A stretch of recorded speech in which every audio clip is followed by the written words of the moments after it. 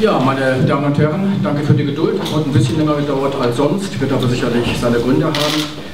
Ich begrüße Sie herzlich zur Pressekonferenz nach dem Regionalligaspiel Rot-Weiß Essen gegen KFC Uerdingen. Das äh, Endergebnis lautet 5 zu 0. Die Tore erzielten zweimal Stuttgarter, Platzek, Reier und Freiberger. Wir hatten 6.540 Zuschauer keine Parallelspiele, deswegen keine weiteren Ergebnisse und deswegen können wir uns jetzt auf die Trainer konzentrieren, die ich herzlich begrüße, nämlich zunächst unseren Gast Murat Salah und von Rot-Weiß Essen Markus Reiter. Und unseren Gast bitte ich, den Anfang zu machen und seinen Kommentar zum Spiel zu sprechen. Erstmal guten Abend an alle Anwesenden. Sie müssen verstehen, dass ich natürlich im Augenblick sehr, sehr aufgewühlt bin. Aber ich will das Spiel jetzt auch nicht zu lange analysieren. Ein kurzes Fazit nach dem Spiel. RWO, äh, RWE war einfach besser als wir. Und äh, für alles, was die Spieler gemacht haben, beziehungsweise was äh, taktisch war, Motivation etc., geht an mich, meine Schuld. Hab die Jungs heute nicht gut einstellen können. Mund abwischen, weiter geht's. Nächste Pflichtaufgabe wartet. Wir glauben noch dran. Liegt immer noch in unserer Hand. Und das ist Fakt und mehr will ich auch nicht dazu sagen. Danke. Ja, danke Herr Sala. Dann äh, reiche ich gleich weiter an Markus Reiter. Auch von mir nochmal einen schönen guten Abend. Ich glaube, dass wir aus rot-weißer Sicht heute ein, ein gutes Spiel gesehen haben, wo wir es geschafft haben, unseren Plan zu jeder Zeit auf dem Feld umzusetzen. Ähm, dass es dann auch in dieser Höhe, denke ich, äh, ein verdienter Sieg für uns rausgesprungen ist. Ähm, da hat sich die Mannschaft für eine sehr, sehr konzentrierte äh, Trainingswoche belohnt. Äh, wir haben ja, nochmal was Neues einstudiert. Wir wollten uns sehr viel mit Fußball beschäftigen und ähm, das hat man heute von Beginn an gemerkt. Wir hatten ein sehr, sehr gutes Abschlusstraining, wo wir Spannung drin hatten. Wir hatten Standards, Wettkampf gemacht, wo Tore gefallen sind.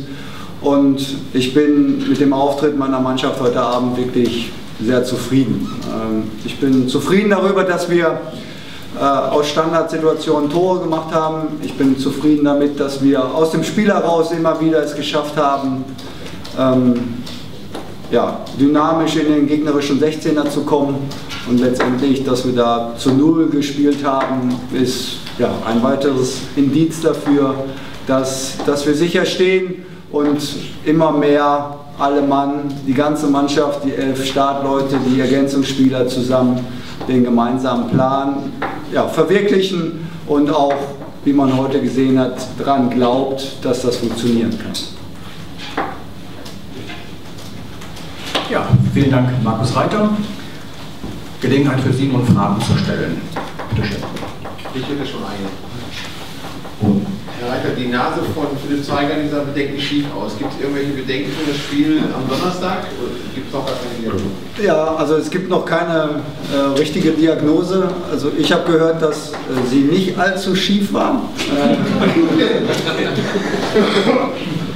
wir, hoffen, wir hoffen, wir möchten es so schnellstmöglich checken, ob sie wirklich gebrochen ist, äh, damit wir, ja, ne, wir brauchen dann eine Maske das ist ja fast üblich dann, dass man dann trotzdem spielt.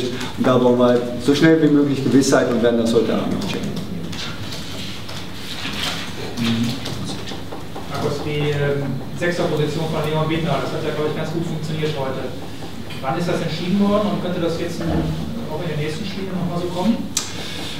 Ähm, das ist entschieden worden eigentlich ähm, ja quasi nicht Anfang der Woche, aber wir hatten die Idee äh, Anfang der Woche und haben es im Training vorbereitet, äh, weil wir einfach äh, glauben, dass Leon da mit seiner Aggressivität, mit seiner äh, Lufthoheit, er gewinnt da glaube ich jeden ähm, Zweikampf in der Luft, gewinnt jedes Kopfballduell. Da haben wir ja, bei langen Bällen einfach noch im Zentrum jemanden, der Kopfball gewinnen kann. Und das war heute ausschlaggebend und es hat wirklich sehr, sehr gut funktioniert. Ja, wir wollten den Gegner zu langen Bällen zwingen. Wir sind vorne ein bisschen früher draufgegangen. Wir wollten den Innenverteidiger dazu zwingen, relativ schnell ins Zentrum zu spielen mit einem hohen Ball.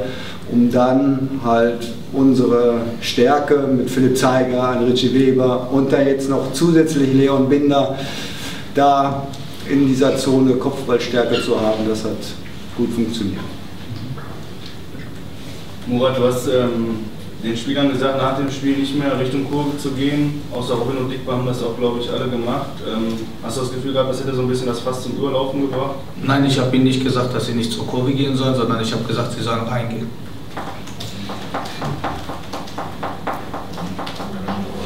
Also auch noch eine Frage, die heutige Nachricht mit der Lizenz, mit dem Problem mit der Lizenz. Kann das sein, dass das in den Köpfen der Spieler irgendwie eine Rolle gespielt hat? Völliger Schwachsinn. Völliger Schwachsinn. Warum trotzdem? Ich gehe jedes Spiel raus, um das Spiel zu gewinnen. Jetzt, weil der, der, ich meine, wer den Text dann so genau liest, wird dann auch feststellen können, dass wir noch eine Zeit haben und das ist, das ist ja nicht das erste Mal beim KFC passiert. Weil natürlich sind vier Vereine beeinträchtigt, aber über uns wird nur geschrieben. So, und das heißt jetzt, was heißt das jetzt? Westfalia Rinnern ist auch dabei, Bocholt ist auch dabei. Also bei der WZ was darüber geschrieben, dass die großartig dabei sind, dass bei denen jetzt Chaos auf einmal ist, wie bei uns. Und wir sind alle entspannt und äh, äh, da wird irgendwas geschrieben, dass das, äh, jetzt geht die Welt beim KFC unter. Und wir sind wahrscheinlich von allen vier Beteiligten am wenigsten betroffen. So. Das ist halt mal, äh, bei uns sind mal mehr Klicks, ist nun mal der KFC-Hörting. Ne? Wenn man negativ verschreibt, dann habe ich mehr Klicks, kann ich besser Werbung verkaufen. Ja, aber dennoch, es war ja beim Abstiegskampf wenig zu spüren. Die Einstellung war nicht gut. Ja, dann hat das aber nichts damit zu tun, dass so eine Nachricht rausgekommen ist. Das akzeptiere ich auch nicht, das ist völliger Kokolog ist, sondern es geht hier um Ehre. Wir wollen gewinnen. Ich meine, welcher Spieler geht auf den Platz und sagt, ich will verlieren? Na, dann soll er Tischtennis spielen oder soll er Schach oder sowas. Das ist entspannt, das kann er ruhig machen. Beantwortet? Ja, okay, so. Gibt es denn noch weitere Fragen? Ja, das ist nicht der Fall. Dann Dankeschön für Ihr Interesse. Unseren Gästen wünschen wir eine gute Heimreise. Alles Gute für den Rest der Saison. Wir sehen uns dann nächsten Donnerstag zum Pokalfinale. Tschüss.